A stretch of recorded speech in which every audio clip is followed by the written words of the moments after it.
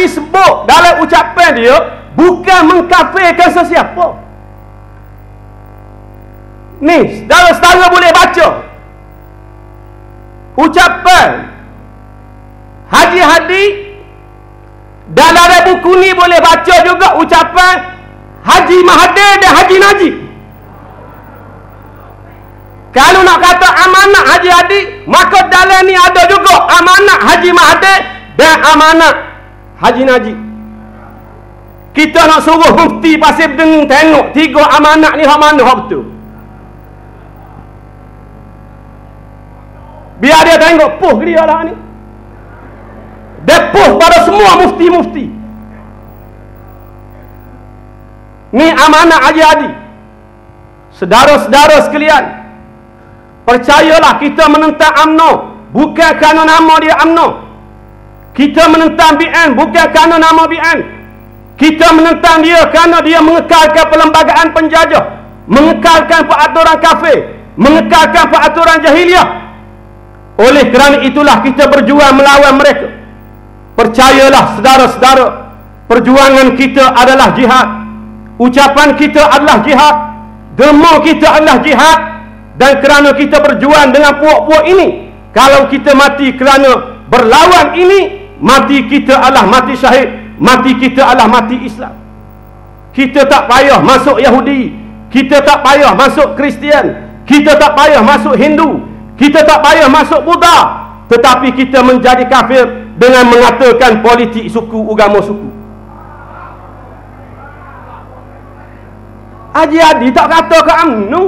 Dia kata kita, kita. Eh, tak peti tak payah. Kita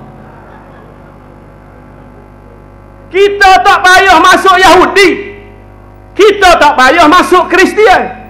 Kita tak payah masuk Hindu.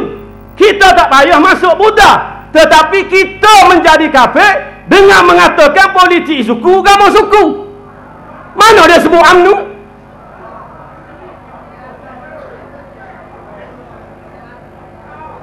Eh dia tak ngaji bahasa Melayu ke?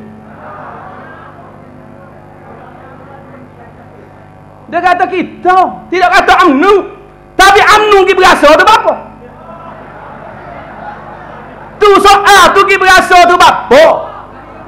Supo cerita orang curi asok zaman Nabi Sulaiman. Bila orang rakyat ke Nabi Sulaiman asok dia kena curi. Lalu Nabi Sulaiman peripong habis penduduk kampung tersebut. Bila beripung belaka lalu Nabi Sulaiman berucap. Nabi Sulaiman kata puak-puakmu ni bukan setakat ada hak curi tapi dia bangga pula. Dia boleh curi asal orang. Bila aku panggil Dia bawa bulu asal tak atas kepala dia. Berasa bangga dia curi asal orang. Hak curi asal tu pun rasa selalu Seramai-ramai orang kapung dia seorang rasa. Lalu Nabi Sulaiman kata igak dia. Memang dia dah. Soh dia sungguh Ia mungkin rasa apa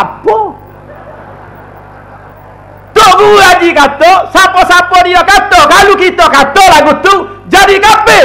Anu dia tahu apa-apa kata aku kafir dia. Eh, supo orang ketuk dalam kereta. Tahu cerita ketuk dalam kereta.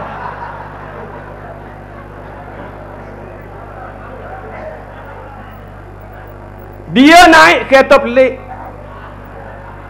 Taksi. Gak musim hujan. Tutup kemah kemih cermin. Duduk tengah jalan, tiba-tiba ada seorang penumpang yang keteng. Gak penumpang yang empat orang, depan seorang, tiga, alik belakang, tiga orang. Bila bau busuk, badi kata, Emu kau ketuk, tak? Emu kau ketuk, tak? Tak mengaku belakang. Tapi driver taksi ni cerdik. Apabila turun dah bayar duit. Dia apa taksi kata ketuk tadi tak bayar lagi tu. Tu yang ketuk kata, "Eh, bayar dah aku mula-mula bayar dia."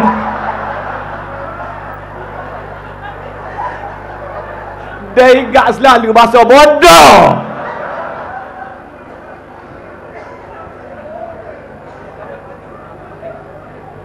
Dah lah ketuk pak bodoh pula. Tepo kat dia dia sudah lah